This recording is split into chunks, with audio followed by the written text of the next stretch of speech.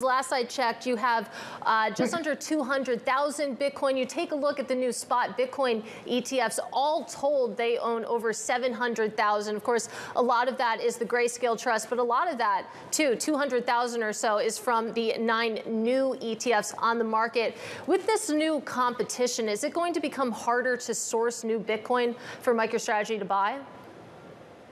Well, I think it's a very virtuous cycle. The spot ETFs have opened up a gateway for institutional capital to flow into the Bitcoin ecosystem. The demand uh, for the spot ETFs, especially the new ones, net, has been far in excess of the supply from the miners every day. In some cases, up to eight to 10 times as much demand as supply every day. Um, this is uh, this is a rising tide. It's going to lift all boats. MicroStrategy has got a levered uh, operating strategy for Bitcoin. But um, if you look at what these spot ETFs are doing, they're facilitating the digital transformation of capital. And every day, hundreds of millions of dollars of capital is flowing from the traditional analog ecosystem into the digital economy.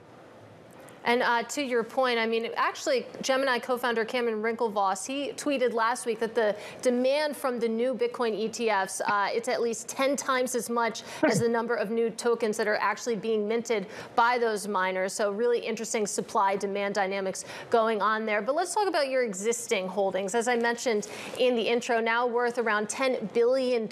You have paper gains of about 70% or so, which a lot of people uh, would like to see that sort of return.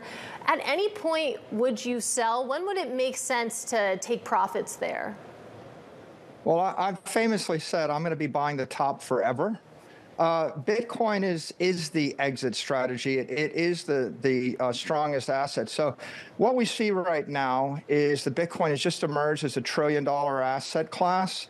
And it's alongside uh, names like Apple and Google and Microsoft. But the difference between Bitcoin and the Magnificent Seven is Bitcoin's an asset class, it's not a company. There's not enough room in the capital structure of those companies to hold 10 trillion or 100 trillion dollars worth of capital. So Bitcoin's competing against gold, which is 10x what it is right now. It's competing against the S&P index. It's competing against real estate, a 100 trillion dollar plus asset class as a store of value.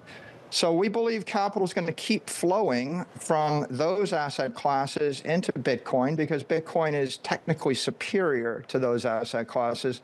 And that, that being the case, there's just no reason to sell the winner to buy the losers.